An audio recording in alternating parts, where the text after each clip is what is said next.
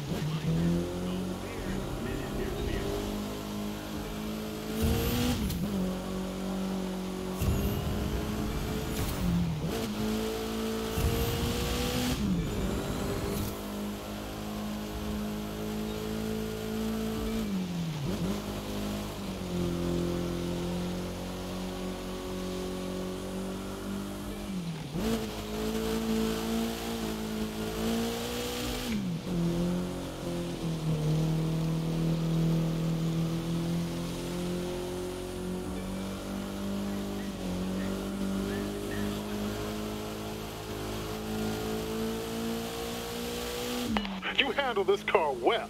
A real steady hand.